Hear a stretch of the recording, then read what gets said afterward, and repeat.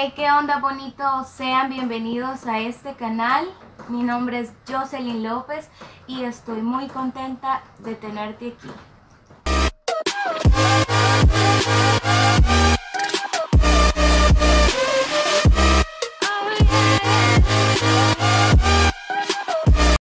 Bonitos, el día de ahora vamos a estar hablando y aclarando un par de dudas sobre un video que yo había subido hace como unas dos semanas o tres semanas, no tengo, no recuerdo exactamente.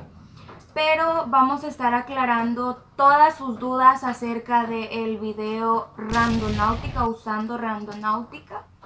Que si no lo han visto se los voy a dejar acá en el enlace de abajito. Con ese video muchas personas me estuvieron preguntando si todo era real o si en algún momento montamos algún tipo de escena. Eh, me estuvieron preguntando y bueno, me estuvieron también comentando historias que habían vivido con esa aplicación.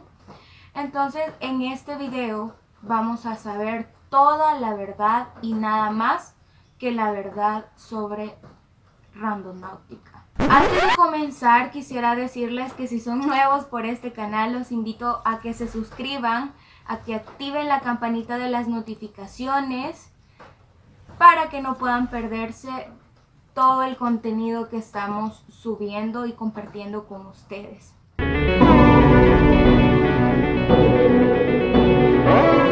Cada vez que grabamos hacemos como una agenda nos organizamos para saber qué día vamos a grabar qué cosa. Entonces, eh, casi siempre, bueno, siempre me acompañan Saúl y Macal para cada video. En esta ocasión pasó lo siguiente, una semana o dos semanas antes de que nosotros comenzáramos a grabar esto, eh, Macal salió con la idea, o bueno, surgió la idea, el de él fue la idea que grabáramos usando la aplicación randonáutica. Eh, digamos que Macal es de las personas que le gusta mucho experimentar cosas paranormales, le gusta meterse eh, en cuestiones así, no así Saúl y yo. O sea, Saúl es como, sí lo hago, pero pero no me interesa. O sea, si dicen que sí, está bien, y si dicen que no, pues tampoco. Y yo soy como, diferente a, él. O sea, yo digo no, no me gusta, me da miedo, porque quieras o no, tengo como ciertos valores cristianos que en los que siempre ha estado el respetar y el decir, bueno, sí existe, pero pero hasta ahí no no me voy a meter en eso. Entonces, sí me parecía como muy arriesgado porque vi muchos videos, vi muchas cosas que en realidad no sé si sean ciertas, que les hayan pasado, pero en base a mi experiencia, eh, que a continuación o más adelantito se las voy a mencionar, o sea, es de sumo riesgo. Entonces, eh, todo comenzó eh, con la propuesta de Macal, él dijo deberíamos de grabar, por supuesto él no lo hizo con la intención de de que nos fuéramos a meter en cosas malas, sino con la intención de, saben, a veces es necesario grabar cosas que, que te puedan dar un trampolín, ¿no? Cosas que están en tendencia y cosas que, que no aburra a, las personas. Entonces él lo hizo con esa intención y dijo, bueno, grabemos.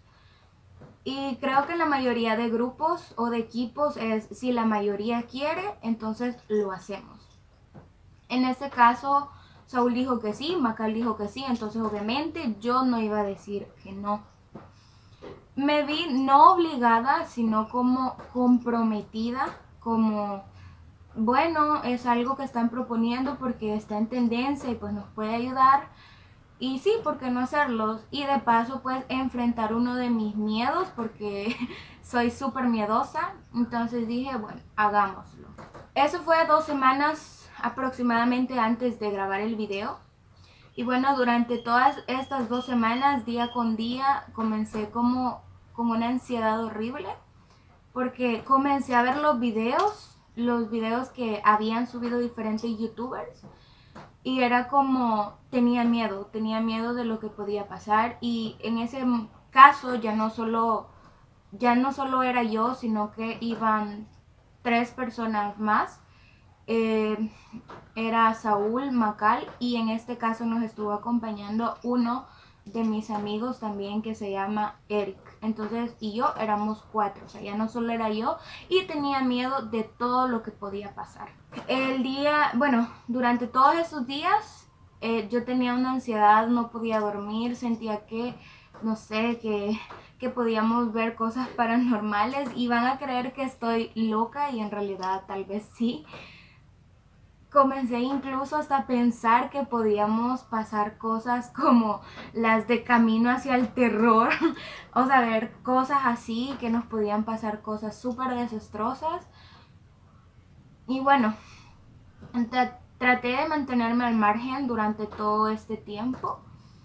Se llegó el día de grabar y íbamos por el camino porque fuimos a grabar a San Vicente. Eh, iba como con, ansiedad, con nervios, porque no sabía ni siquiera cómo comenzar ese video. No sabía qué decir, qué no decir, porque no estaba en mis manos el controlar lo que iba a pasar. Y en realidad no era un video que yo estuviera disfrutando, puesto que tenía demasiado pánico y sabía que íbamos cuatro personas. Entonces, son personas para mí súper importantes y no me gustaría que, le pasara algo o que les hubiera pasado algo. Entonces, eh, comenzamos, comenzamos el, recorrido cuando llegamos a, San Vicente y nos llevamos una grandísima, pero grandísima sorpresa. Eh, primero que nada, en la primera búsqueda, pues no pudimos grabar nada porque pasó algo que se nos salió totalmente de control. En realidad nosotros estamos comenzando, no tenemos como el material suficiente para poder grabar cada cosa. Es decir, grabamos con dos cámaras. Entonces eh, no tenemos equipo como de audio para poder grabar cualquier tipo de audio. No tenemos suficientes cámaras para grabar cada cosa que estaba pasando. Entonces en la primera búsqueda se nos salió todo de control porque íbamos y literal cuando llegamos, imagínense que yo no llevaba mi teléfono. Solo íbamos con un teléfono y con la cámara. Entonces, de repente se apagó el teléfono, se apagó la cámara y aunque intentábamos como encenderla y grabar lo que estaba pasando, pues no podíamos. Fue bien feo porque en ese momento ya no es solo de voy a correr y me voy a ir al carro, sino necesito que todos los que estamos aquí salgamos. Y para mí en lo personal era como frustrante porque aparte que tenía miedo, era como, güey, no me puedo ir, men, no me puedo ir, están mis amigos. Y aparte que era como la protagonista, ¿no? Del, del video. Luego fue como comenzamos a salir de ahí porque escuchábamos que se movían las hojas de maíz, escuchábamos ruidos muy feos y pues nos tuvimos que marchar. Cuando llegamos al carro, literal, yo me puse a llorar ya no quería seguir grabando porque me daba demasiado miedo con lo que había pasado. Sin embargo, una de las cosas que nosotros, los que grabamos, tenemos que hacer es, sin importar cómo estás, cómo te sientas, tenés que mostrar como la mejor, la mejor cara. O sea, no puedes, no puedes rendirte. O sea, los demás quieren ver alegría, quieren ver entusiasmo. Entonces, eso es lo que tenés que transmitir. Esa debe de ser tu cara. En ese momento era demasiado complicado porque yo no me sentía así, no tenía ni la más mínima intención de querer seguir grabando. Sin embargo, dije, bueno, ya estamos aquí, hay que darle. Entonces, eh, le dije a, los, a, mis amigos, bueno, entonces ahora llevemos todos los teléfonos encendidos, grabando de una vez. Y, y bueno, la cámara de una vez. Entonces comenzamos a encender los teléfonos y seguimos con la siguiente búsqueda, que en este caso para ustedes iba a ser la primera. Porque de la, de la primera que nosotros hicimos, pues no, no grabamos nada. Para nosotros era la segunda, para ustedes era la primera. Comenzamos a grabar y esa escena si ustedes la vieron. Y era complicado porque siempre nos llevaba a lugares como Milpas, Monte, lugares súper solos. Y, y, bueno, como no contábamos, vuelvo y repito, como no contábamos con el equipo necesario, o sea, nosotros escuchábamos cosas que en el teléfono y en las cámaras pues no se escucha. Por ejemplo, cuando se cayó la rama, cuando se movió el arbusto, cuando yo vi lo que estaba al fondo y bueno, los, era raro porque yo lo veía y mis amigos no lo veían y en ocasiones mis amigos lo veían y yo no lo veía, entonces era complicado.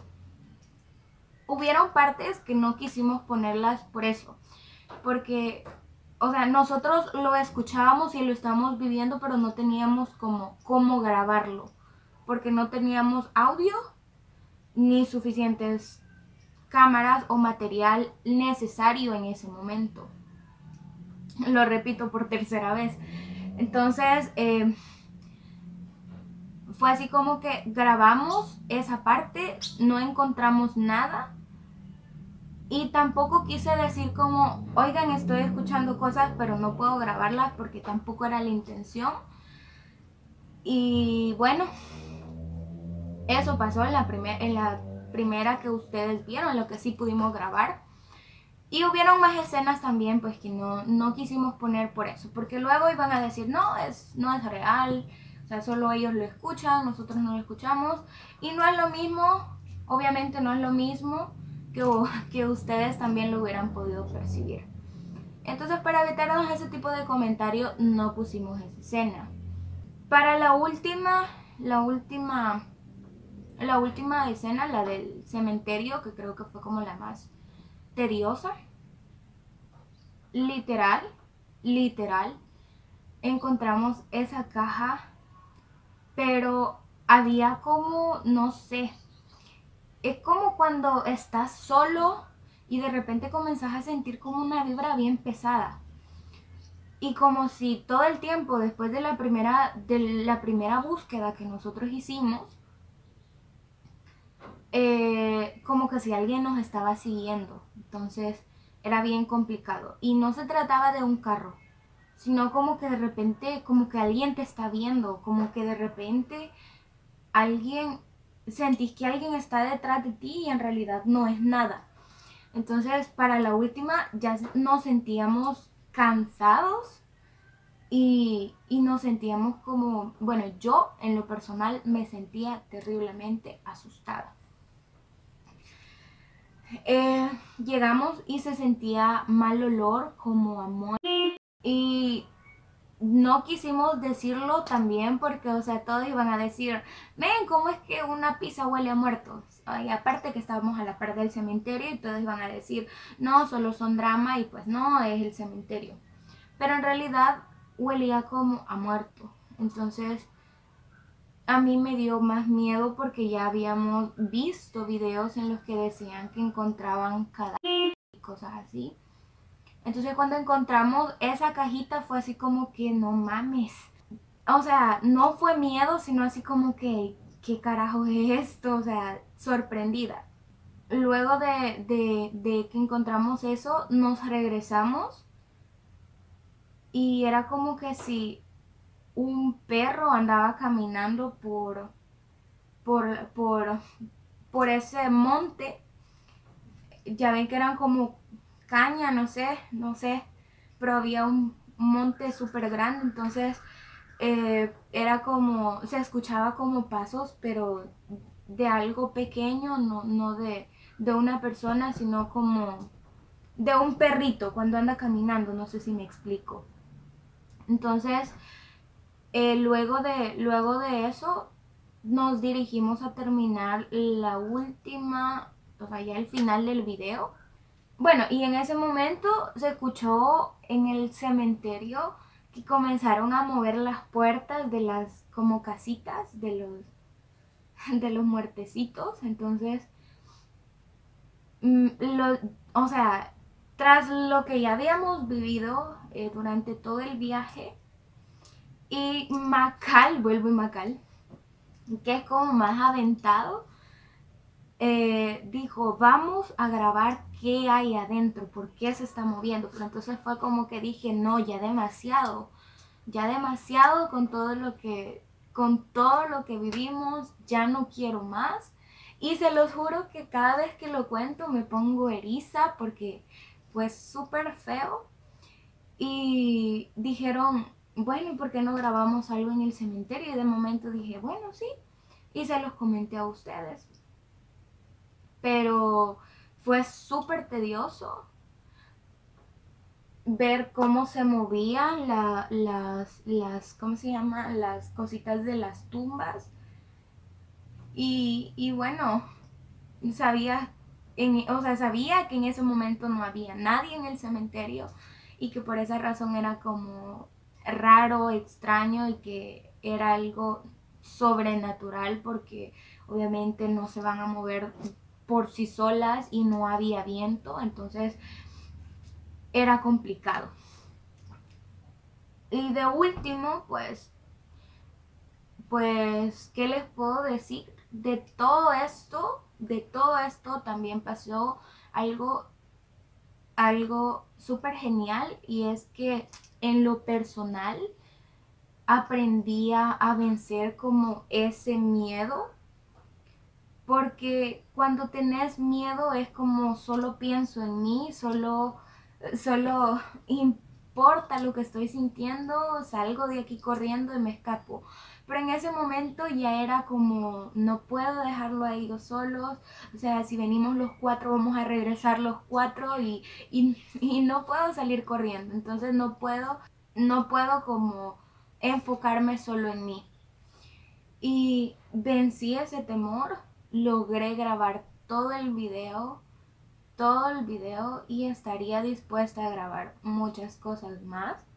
Porque con el tiempo aprendes que los temores se van venciendo poco a poco. Y sí sé que es muy riesgoso porque son seres sobrenaturales que se deben respetar. No sé, siento que con el tiempo como que comenzas a entender que no todo es miedo y eso me pasó a mí. Vencí mis miedos, sí sigo respetando ese tipo de cosas, pero no es algo por lo que voy a decir o por lo que voy a ver y me voy a quedar así como estática, sino que ahora sé actuar, sé qué hacer o, o más o menos ya no me cohibo como antes y, y sí, es un poco riesgoso porque son seres sobrenaturales, pero yo pienso que si lo haces con respeto y con las debidas precauciones, pues no pasa nada. Entonces, esa es toda, toda la historia. En realidad sí fue real, demasiado real. Vimos cosas súper feas, súper raras que lastimosamente no se pudieron grabar por los motivos que ya, le ya les comenté. Pero sí es real. Si van a utilizar esa app, yo les recomiendo que la usen con las precauciones necesarias. No lo hagan solos porque también estuve escuchando y leyendo historias que ustedes mismos me enviaron con esa misma app. Entonces, eh, tengan mucho cuidado, traten de, de, hacerlo con alguien que los supervise o por lo menos con personas que los van a apoyar, que no los van a dejar solos. Y pues eso es todo por el video de hoy. Esa fue mi experiencia fue totalmente traumante, sin embargo después de todo aprendí cómo a vencer mis miedos y eso es lo bueno al final del día, ¿no? Aprender de todo. Y espero que les haya gustado este story time. Si desean que haga algún tipo de video, no sé, un poco relacionado a estos a este tema, me gustaría que me lo dejaran en la cajita de, las, de los comentarios. Yo los voy a estar leyendo y por supuesto quisiera decirles que si quieren un saludito en el próximo video, los invito a que en cualquiera de mis redes sociales que aquí abajo van a aparecer, me pueden enviar una captura de pantalla que están viendo este video, que están suscritos y que le han dado eh, arriba y yo les voy a estar mandando un saludito. Así que los amo, un beso, un abrazo, que Dios me los bendiga y nos vemos en un próximo video.